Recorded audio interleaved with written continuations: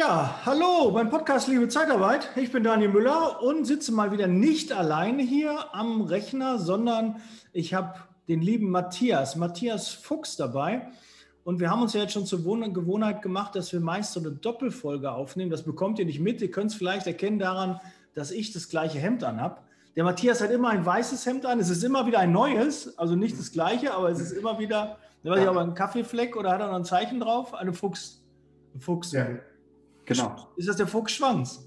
Das ist das Leitfeuer, meine Marke, ja. Ah, okay. Gut. Haben wir nicht abgesprochen. Tut mir leid. Nächstes Mal müssen wir uns besser abstimmen. Das ist Leitfeuer. Okay. Alles gut. Gut. Matthias, ähm, ein herzliches Hallo. Wir müssen Hi. zum Thema kommen, was wir haben, weil damit nicht die ersten schon wegschalten. Ähm, mit dir ist immer sehr spannend und ich lerne neue Begriffe kennen. Äh, was dahinter steckt, weiß ich, aber Outplacement Management äh, der Begriff ist mir noch nie über die Lippen gekommen, aber den wollen wir jetzt heute mal mit dir ein bisschen näher beleuchten. Erstmal nochmal herzliches Hallo und klär uns mal bitte auf, was ist denn mit Outplacement Management gemeint? Ja, was bedeutet das? Da kommt wieder so ein englisches äh, Fachbegriffchen um die Ecke gehuscht. Ne? Man könnte eigentlich hier auf den, auf den Buzzer hauen und ja. äh, quasi Buster spielen. Ähm, aber das ist ja heute nicht das Thema. Ähm, Outplacement Management bedeutet folgendes. Wie setze ich meine Mitarbeiter oder meine Mitdenkenden, Mithandelnden, Mitfühlenden, wie wir das ja schon gelernt haben, äh, am besten an die Sonne? Und da gibt es Outplacement Management äh, Unternehmen, die quasi Bewerbungstraining machen und dergleichen, um dem Mitarbeiter zu helfen, möglichst schnell wieder Fuß zu fassen. Mhm. Und so Opferngesellschaften machen das manchmal auch, ne? Genau, genau. Und ähm, ich habe mir diesen Begriff irgendwann mal vorgenommen und habe gedacht, wieso machen die das so bescheuert? Also ich meine, wenn du jetzt 40 Jahre alt bist, wirst von deinem Unternehmen an die Sonne gesetzt, ähm, dann ist es das so, dass du erstmal richtig viel Schiss kriegst und Angst und äh, was mache ich jetzt? Und ich bin doch jetzt schon so lange im Unternehmen und so weiter und so fort. Und dann Bewerbertraining zu machen, äh, ah, also ich finde find das semi-professionell eigentlich. Viel wichtiger ist, äh, die Person so zu festigen, dass sie sagt, das war eine, das war eine äh, Entscheidung, die ich jetzt vielleicht nicht mittrage, aber eine Entscheidung, die ich jetzt mitgehen muss. Und da kommt dann vielleicht wieder etwas ins Spiel, was ich immer wieder als Kernschmelze verstehe, dass der Lebenszweck und der Unternehmenszweck verschmolzen werden und dadurch 100% Fokussierung entsteht, auch auf das, was ich vielleicht noch gar nicht wollte, was das Unternehmen aber für mich jetzt veranlasst hat. Und möglicherweise ist es sogar die beste Chance in meinem Leben und ich habe das noch gar nicht erkannt. Mhm. Und da würde ich jetzt zum Beispiel mal ansetzen mit Outplacement Management, dass man den Leuten einfach sagt, erst pass mal auf, du bist als Mensch wertvoll, für unser Unternehmen vielleicht nicht mehr. Und wir helfen dir jetzt, äh, dich erstmal neu zu orientieren, bevor wir dir ein Bewerbungstraining an die Backe nageln und äh, die Menschen sich da irgendwie sehr, sehr unsicher und doof mitfühlen, ähm, weil die Ausstrahlung von innen ist doch viel wichtiger, als eine gute Bewerbung erstmal zu schreiben. Das kommt doch erst danach. Mhm.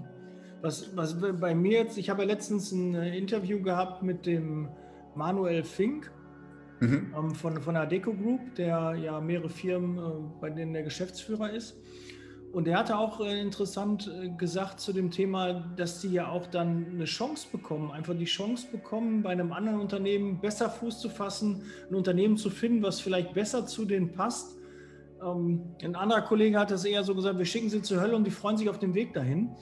Ähm, das aber eher so, so ein bisschen zwar auch mit einem, mit einem lachenden Auge gemeint, aber so ein bisschen geht es ja darum, ähm, klar, freisetzen ist nichts Schönes, aber zumindest muss der Mitarbeiter auch verstehen, warum das hier keinen Sinn macht, warum das hier nicht weitergeht und dass das keine Willkür vom Unternehmen ist, sondern wirklich gesagt wird, pass auf, wir passen nicht zusammen, du wirst woanders sicherlich glücklicher und das müssen wir jetzt mal feststellen und äh, glaub mir, äh, vielleicht wirst du es jetzt noch nicht sehen, aber in naher Zukunft. Und wenn man seine Mitarbeiter eng führt, dann wissen, dann ist das ja nicht überraschend, dass man sich irgendwann trennt, sondern mhm. hat man schon gemerkt, okay, da sind Probleme, äh, vielleicht kann ich nicht alle Anforderungen erfüllen, vielleicht als, als Arbeitgeber. Es gibt ja auch, oft merke ich als Arbeitgeber, okay, die Anforderungen, die der Mitarbeiter an mich, an das Unternehmen stellt, die kann ich nicht erbringen. Ja, weil er besonders intensiv eingearbeitet werden muss oder ähm, besonders an die Hand genommen werden muss, wo man dann merkt, nee, da bleibt zu viel auf der Strecke, das schaffe ich nicht, dem werde ich nicht gerecht. Und dann kann man mhm. doch auch ruhig sagen, pass auf, ich werde den Aufgaben nicht gerecht, das äh, funktioniert so nicht und wir müssen uns trennen. Es ist ja immer auch eine Chance. Es ist ja nicht nur mal ein Risiko, sondern auch eine Chance, was Neues zu finden, was Besseres, was vielleicht besser zu einem passt. Und das finde ich, äh, äh, den Aspekt habe ich eigentlich nie so gesehen, weil man immer denkt, Freisetzen ist immer was, was ganz, ganz Schlechtes. Ich habe einen Disponenten mhm. gehabt, der hat immer Durchfall bekommen, wenn er jemanden freisetzen musste, wenn er solche Kritikgespräche bekommen hat. Der war dafür nicht geeignet für die Zeitarbeit. Und da dachte ich auch, warum? Warum nimmt er das denn so persönlich? Aber ja, man, man stumpft mit der Zeit auch wirklich ab, wenn man lange in dem Bereich ist, weil man viele Leute einstellt, aber natürlich auch sich vom Mitarbeiter manchmal trennen muss. Aber eigentlich immer zum Guten, weil man natürlich auch für die Firma gucken muss und auch für den Mitarbeiter Verantwortung hat. Ich habe äh, ein Unternehmen begleitet und beraten und ähm, da sagte der Geschäftsführer, hör mal, ich habe hier jemanden, der möchte wahrscheinlich hier mit in die Geschäftsführung kommen. Ähm, der ist sich aber die ganze Zeit noch nicht sicher.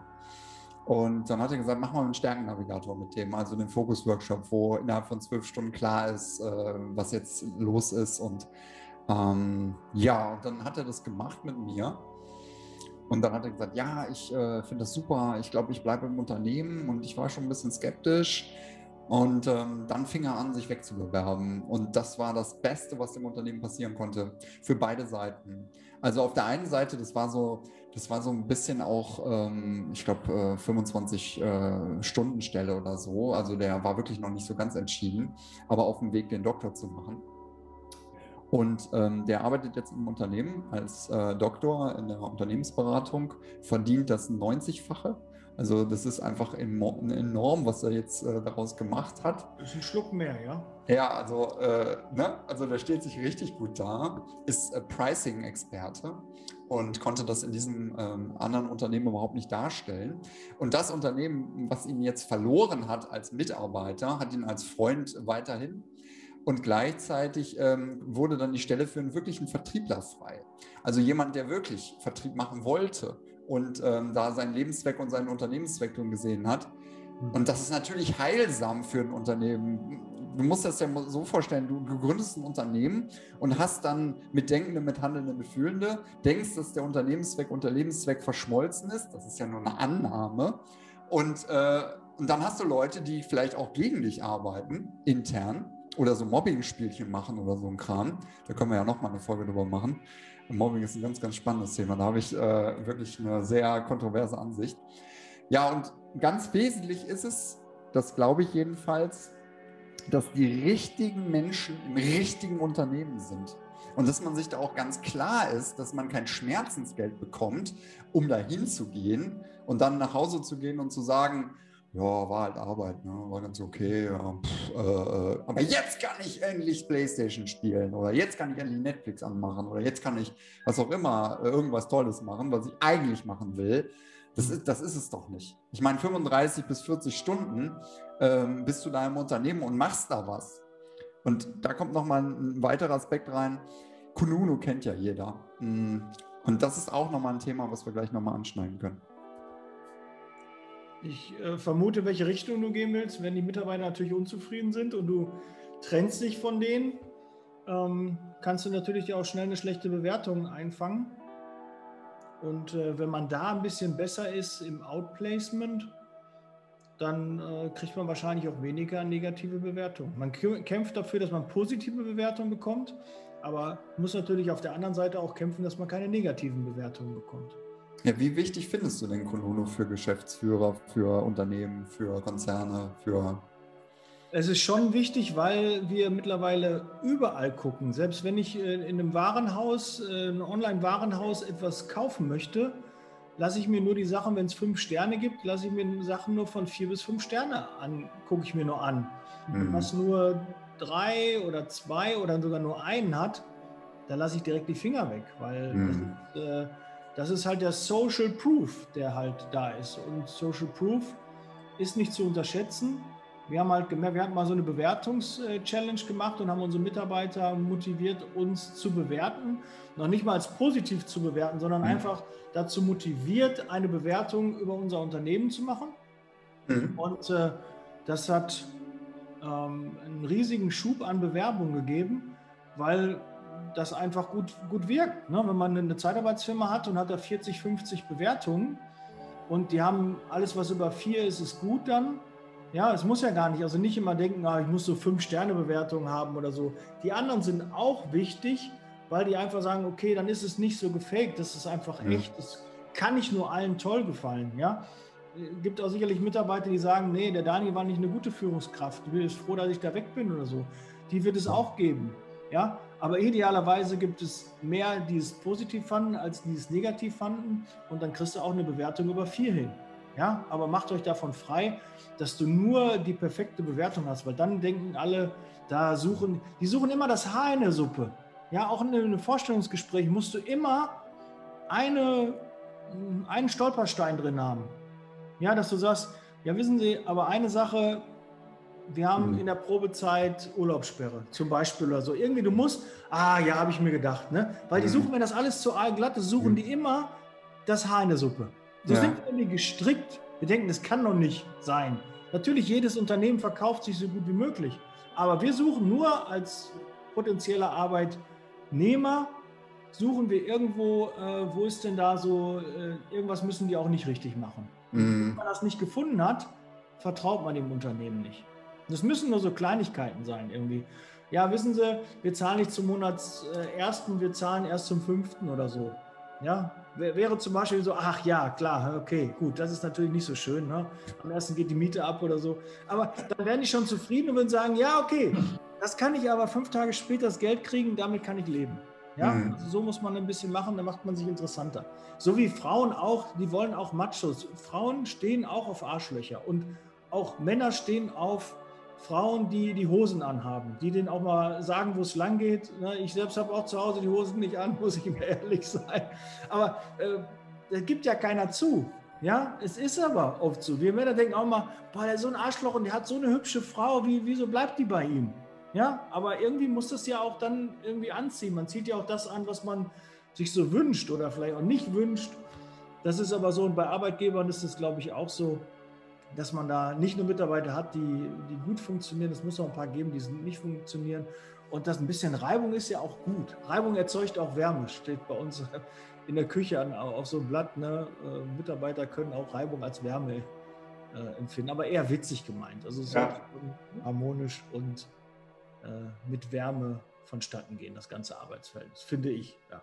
Nochmal zurück zu Konuno. Also die meisten haben das ja als Klagemauer. Ne? Also das heißt, die wollen sich über Unternehmen anonym auskotzen. Mhm. Und ähm, ich halte überhaupt nichts von. Ähm, am besten ist es ja, dass Konuno eigentlich eine, eine Dankesmauer wird, ähm, wo die Leute sagen, boah, das war so toll, ich durfte mich bei denen bewerben oder das war so toll, die haben mich jetzt endlich rausgeschmissen. Also sprich, ähm, wenn Outplacement Management, und das ist ja heute das Thema, dass wir da so ein bisschen fokussiert bleiben. Wenn Outplacement Management so gelebt würde, dass man dem Mitarbeiter sagt, Herr Müller, wir, wir, Sie, Sie, arbeiten wirklich gut, ähm, Sie passen aber nicht mehr in unser Unternehmenskonzept oder die Abteilung wird geschlossen oder was auch immer. Ähm, jetzt äh, machen wir für Sie ein Outplacement Management, äh, was Sie so noch nicht kennen. Sie kriegen einen Workshop, um sich komplett re zu fokussieren. Also, dass sie wirklich mal sagen, okay, ich bin jetzt hier fünf Jahre, zehn Jahre, was auch immer im Unternehmen. Sie sind ja betriebsblind geworden. Das muss man ja einfach mal so sehen. So. Und wenn sie jetzt anfangen, erstmal sich zu fragen, was brauche ich und was will ich? Wobei das, was ich will, ist meist das Präsentere. Das, was ich brauche, dürfte dann von mir kommen oder von jemandem anders, der es kann. Und am Ende kommt dann halt raus, das ist mein Lebenszweck und das ist mein Unternehmenszweck. Und ich merke selber, und jetzt kommt's, und jetzt wird es wirklich lukrativ für alle Unternehmer, die mir jetzt zuhören. Wenn ich merke, mein Lebenszweck und mein Unternehmenszweck passt nicht mehr zu diesem Unternehmen oder hat vielleicht noch nie gepasst und ich habe immer Schmerzensgeld bekommen, dann gehe ich selber. Da muss ich gar nicht gekündigt werden. Da kann man vielleicht einen Aufhebungsvertrag machen. Und dann wird es alles, alles, alles, alles viel billiger, als dass man sich äh, vielleicht so vorgestellt hat. Vielleicht muss man auch gar nicht vor das Arbeitsgericht. Also wenn die Menschen selber die Entscheidung treffen zu gehen und man denen quasi nur die Tür öffnet und sagt, hm, ist schon spät, äh, wie wär's? Ja, so wie. Läuft schon, ich war noch niemals in New York, läuft schon im Radio, ne, im Hintergrund, ne? Genau. Wer hat ja. eine Uhr gedreht? Pink Panther. Ja, wie, wie nächste Woche bei meinem Geburtstag. Äh, da sage ich den Leuten dann auch irgendwann, jetzt ist Schluss. Äh, ist es 7 Uhr morgens oder so. so wir müssen.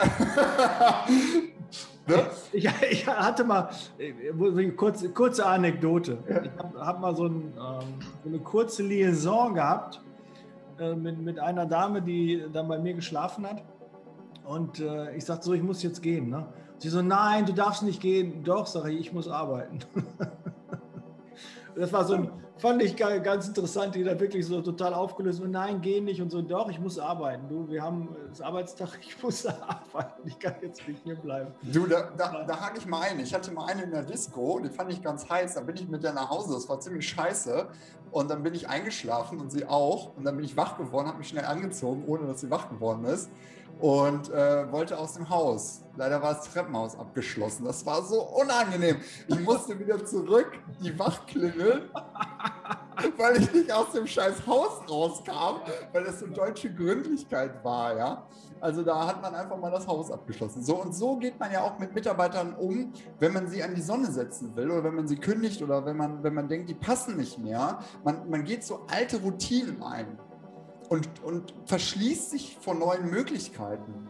Und ich möchte gerne diese neue Möglichkeit etablieren, platzieren, auch in dem Kopf der Persönlichkeit äh, des Teilnehmenden, des Hörenden, der jetzt gerade dabei ist, auf beiden Seiten, auf Arbeitnehmer- und auf Arbeitgeberseite, dass man einfach anders miteinander umgeht. Man sieht sich immer zweimal mindestens im Leben und Konuno ist äh, echt undankbar. Und äh, wie man sich anstellt, ähm, so wird es dann auch im Internet herausgeschrien. Und das wird dann meist auch noch mal ein bisschen mh, verschlimmbessert und nicht beschönigt. Also das heißt, der Mitarbeiter denkt eigentlich, ähm, der jetzt nicht mehr da ist, ja, das Unternehmen war ganz okay, aber dann macht er sich so richtig Gedanken und merkt, eigentlich war das gar nicht so okay, das war richtig scheiße. Und dann gibt es dann eine 1,5er Bewertung oder so. Und die dann wieder wegzukriegen, da muss man einen Anwalt einschalten. Ich weiß nicht, ob ihr das wisst. Man kann Anwälte einschalten, um so, ein, so, so schlechte Bewertungen aus dem Netz zu killen. Hm. Ist ziemlich kostspielig. Sollte man am Vorfeld eigentlich schon gewinnen, das Ganze, indem man es einfach richtig macht und wertschätzend, ich mag das Wort gar nicht, aber wertschätzend, den Wert des anderen schätzend, ähm, zu agieren, um dadurch dem Arbeitnehmenden oder dem Arbeitgebenden einfach den Weg zu erleichtern, von beiden Seiten. Ja, doch, das ist. Äh wer im Vorfeld äh, schon seine Arbeit richtig macht, äh, beschwert sich dann nachher weniger über diese Bewertung, weil er dann weniger davon hat. Und einfach mal vorausschauend das Ganze machen. Nicht so irgendwie aus dem Affekt und Hauptsache weg, weil auch gerade diese, ähm, die, diese Kritikgespräche oder diese hm? Freisetzungsgespräche, da, was bringt es in so einem Gespräch, so richtig alles rauszuholen, sich so richtig auszulassen und das hast du auch nicht gemacht und da und das war falsch und jetzt müssen wir, jetzt geht nicht mehr. Das bringt doch nichts. Das bringt doch nichts. Ich habe doch schon die Entscheidung getroffen. Wenn ich Arbeitgeber bin, habe ich die Entscheidung getroffen, ich trenne mich von diesem Mitarbeiter. Ähm, dann ist es wirklich ganz selten, dass dann noch Argumente irgendwie kommen, wo ich dann doch denke, oh ja, vielleicht war ich da ungerecht, vielleicht habe ich es falsch gesehen. Wenn das so kommt, ist das ja schön, wenn man da so darauf aufmerksam ist, ist ja nicht die Tür zugefallen.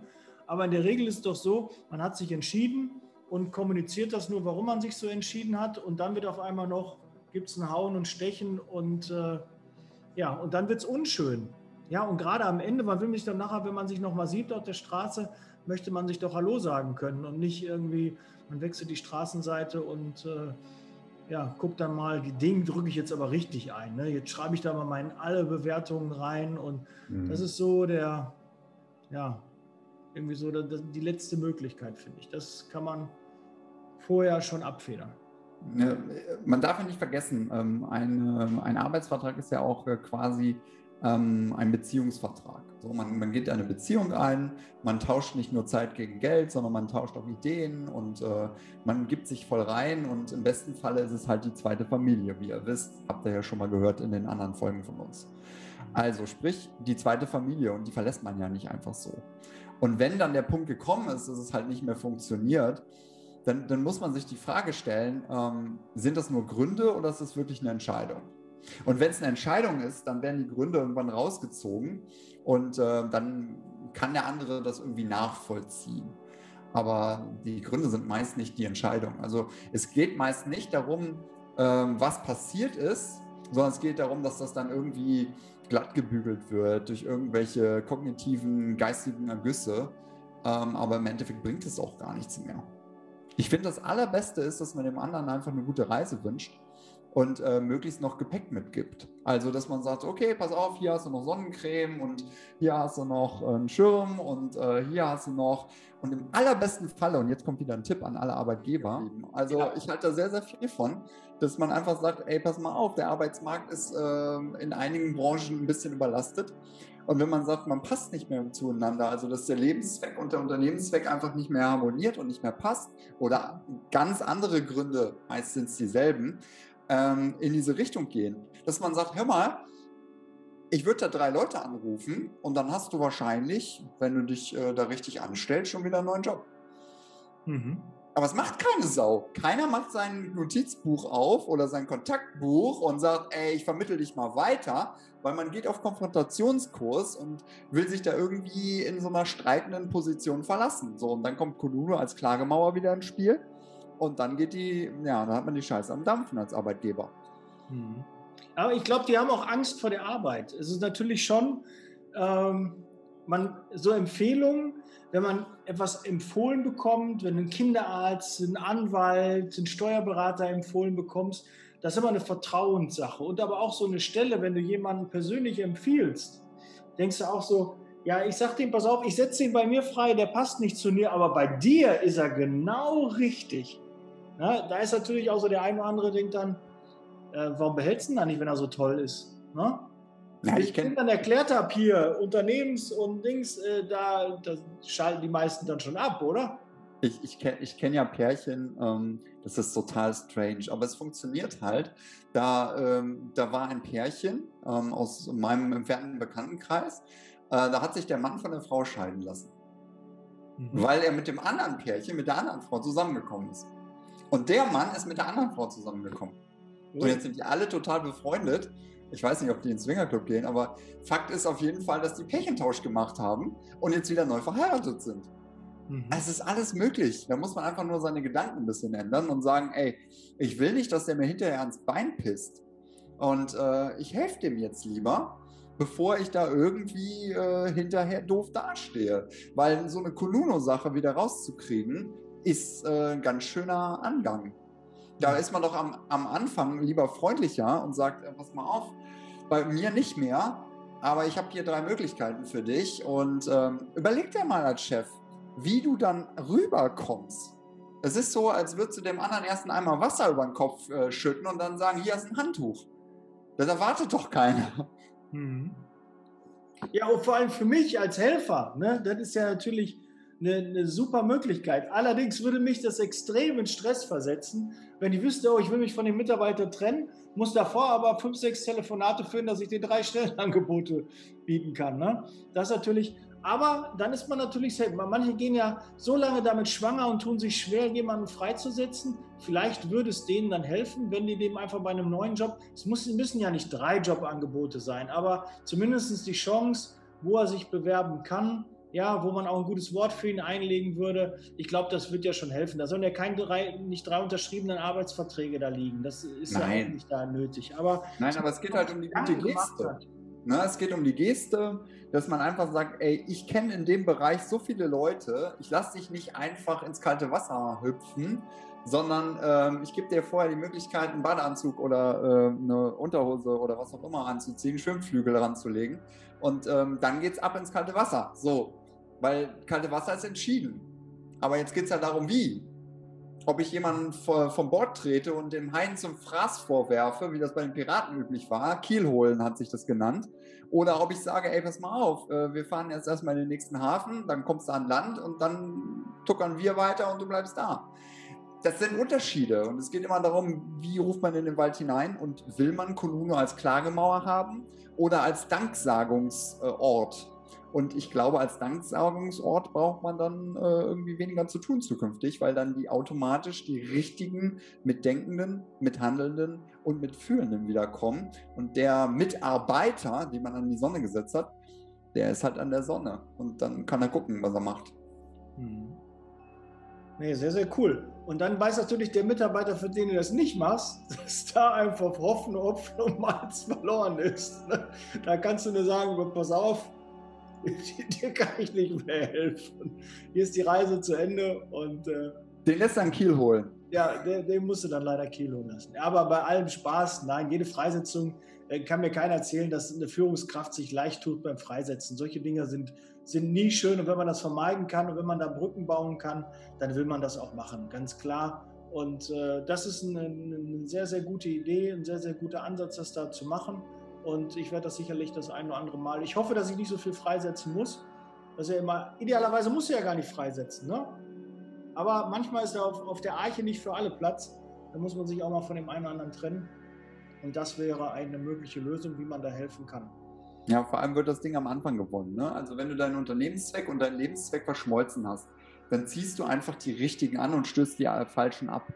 Und wenn du das dann auf der Internetseite kommunizierst, wenn du das in deine ganze Marketing-Idee, in deine ganzen Strategien eingießt ähm, und das nach außen verkörperst und lebst, dann wirst du kaum Freisetzungsgespräche haben und die Fluktuationsrate ist enorm niedrig, weil die Leute halt einfach, wieso sollen sie gehen? Es gibt doch keinen Grund. Vielleicht mal eine Heirat, weil die Frau einen weggelobt hat oder so. Oder Studium oder was auch immer. Aber die Leute können ja auch alle wiederkommen. Ich meine, wir haben immer weniger Fachkräfte. Das ist ja keine Utopie. In vielen Bereichen haben wir immer weniger Fachkräfte. Und da muss man sich mit denen doch gut stellen und denen möglichst massiv den roten Teppich ausrollen. Und zwar beim Reinkommen und beim Rauskommen. Also ist meine Meinung und äh, so lebe ich das auch mit äh, meinen Mandanten. Nee, und unterstütze ich auch. Macht auch Sinn. Also ähm, manchmal sieht man sieht sich immer zweimal im Leben, manchmal sogar dreimal. Und äh, warum soll das nicht nach einer Weiterentwicklung bei einer anderen Firma? Äh, manche, glaube ich, merken auch, ach, da habe ich doch zu viele, die denken ja immer, das Gras ist auf der anderen Seite grüner. Ja. Und dann kommen die dahin und probieren das Gras und merken, ist gar nicht besser. Das nee. schmeckt noch bescheidener als äh, bei dem anderen und ja. da geht es mir eigentlich schon gut. Ja, genau. Ja, warum, und dann die Größe zu haben und zu sagen, pass auf, ich habe äh, ein bisschen Findungsphase gebraucht, ich äh, habe da irgendwie das Falsche gesucht, ich wusste schon, dass ich richtig bin und äh, dann nochmal anklopfen, das ist auch wahre Größe. Und ehemalige Mitarbeiter wieder einstellen, da tun sich ganz, ganz viele schwer, aber warum nicht? Man äh, kauft da nicht die Katze im Sack, sondern man weiß schon, was man hm. bekommt und was man auch erwarten kann. Das und machen aber viele Unternehmen. Das machen viele Unternehmen, sich die Leute ranziehen, die dann irgendwie nochmal in ein anderes Unternehmen, also bei Unternehmensnachfolge ist ja auch eins meiner Steckenpferde, da ist es so, dass ähm, die äh, wirklich guten äh, Unternehmer ihre Söhne und ihre Töchter in andere Unternehmen gehen lassen. Die kommen dann nach drei, vier, fünf Jahren wieder und dann dürfen die das Unternehmen übernehmen, beziehungsweise da ihre Karriere machen. Das macht total Sinn, die wieder zurückzuholen, die Leute. Und es wird auch so weiter bleiben. Ich meine, hallo, wir, wir, wir werden die Rente mit 67 wahrscheinlich nicht mehr erleben. Also wir beide nicht mehr. Ähm, und äh, das ist halt das Ding. Es wird die Rente nicht mehr geben. Irgendwann ist das ewige Lernen und das ewige Arbeiten angesetzt. Und ähm, ja, dann wirst du halt mit 60 irgendwo nochmal ein altes Unternehmen wieder besuchen, weil du dann wieder äh, reinpasst. Was auch immer. Ne? Also die Zukunft können wir nicht äh, bestimmen, aber wir können auf jeden Fall überlegen, wie wir uns verhalten wollen und ähm, dass der Bumerang nicht irgendwann wieder zurückkommt. Ähm, dass er zurückkommt, ist klar, aber wie er zurückkommt, ist halt, äh, glaube ich, ein ganz, ganz wesentlicher Punkt. Und ich möchte, also ich persönlich möchte nicht durchs Leben gehen und auf einmal, PAM, hast du so einen Bumerang am Schädel, blutest und liegst im Krankenhaus. Also ich meine damit nicht, dass ehemalige Mitarbeiter auf einen zukommen und einen Bumerang vom Kopf werfen, sondern ich meine einfach, das, was du getan hast, nämlich Karma, äh, kommt irgendwann zurück. Verbrannte Erde hinterlassen. Ne? Genau. Das sollte man gucken, dass man immer in den Frieden geht. Was bringt es da, so ein Chaos zu hinterlassen, mit einem Krankenschein sich zu verabschieden genau. und äh, Pest und Cholera den anderen an den Hals wäre? Das ist, da kommt, danach kann man nicht mehr zurückkommen. Das glaube ich dann schon. Aber selbst dann ist bei mir auch der Fall, wenn einer sagt, ja, Herr Müller, Daniel, war doof. Komm, lass uns nochmal, dann kann ich auch resetten und wieder neu anfangen. Ich, ich gebe jedem eine zweite Chance und auch eine dritte Chance. Aber dann, ne, wenn die zweite und die dritte auch nicht äh, funktioniert, dann muss man natürlich sagen, dann, dann geht es auch nicht weiter. Dann ja. äh, sagt man auch, nee, dann nicht, dann such woanders. Und so, um, den, um den Bogen zurückzuspannen, Outplacement Management bedeutet halt nicht, jemanden in den Markt zu schmeißen und zu sagen, guck mal, wie du schwimmen kannst, sondern äh, möglichst das vereinfacht zu tun und unterstützend zu tun. Und wenn das Telefon klingelt und ähm, da jemand dran ist, äh, der sagt, ja, ich will den Mitarbeiter aber haben, ja, dann kann man auch selber den Hörer in die Hand nehmen und äh, selber mal irgendwo anrufen bei einem Bekannten oder bei einem anderen äh, Unternehmen, die das äh, vielleicht ganz gut finden würden, weil man hilft ja dann sich auch gegenseitig.